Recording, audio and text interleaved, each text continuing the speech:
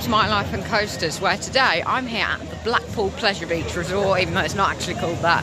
Anyway, I'm at Blackpool Pleasure Beach for only my second ever visit. Now, this is my favourite, well, like place in the UK. Absolutely love it. It's got two of my favourite uh, rides. That is the big one and Icon right there.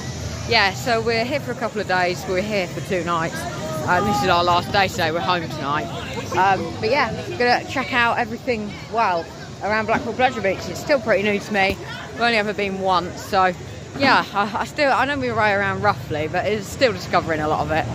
Um, there's a big one. Well, yeah, lots of off-ride, action-packed vlog, quite a long one. So yeah, all coming up in this video. Wow, love it here.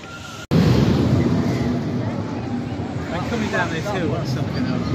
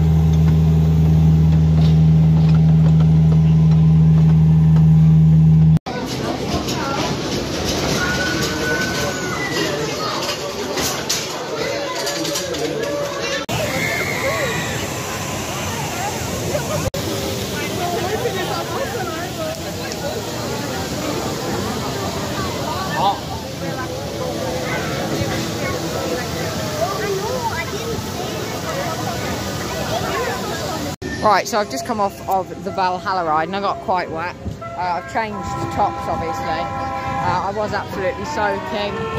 Massive, like, 60 foot drops in their building, which is over there. Yeah, Valhalla's just an indoor dark ride. Yeah, really good. Right, let's go and do something else. Right, so I did Valhalla, as you saw. Uh, then I just had a quick ride on the Grand National. I've Never done it before. Another cred. Um, and now I've got a uh, time to do a big one at some point now. I've been putting this off all day. I'm kind of regretting it because when you put something off more and more, you get more and more adamant that you're not going to do it. But obviously, I, I am doing this.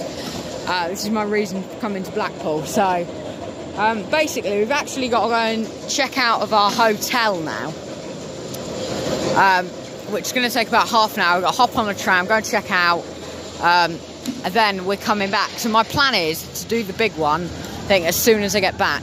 Although I don't want to do it about 3.30 because um, that's when it'll be wheel check time. Yeah, such a big and intimidating coaster is the big one. Uh, I have done it before, I've done it twice. Yeah, that's a 200 foot marker. Yeah, you got all the markers as you're going up. Wow. Yeah, I think uh, we've got to go and check out the hotel in about 15 minutes. Uh, so what I'll do is I might have a ride on Icon. Um, and then we'll go and do that.